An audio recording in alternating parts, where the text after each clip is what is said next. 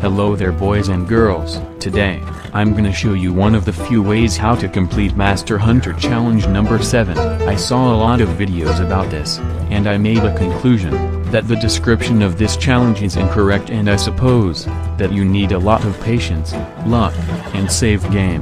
First step, go here, like one of the ways to grind this challenge. In this area there are coyotes, deers, bisons. Next step, put down baits for predators and herbivores.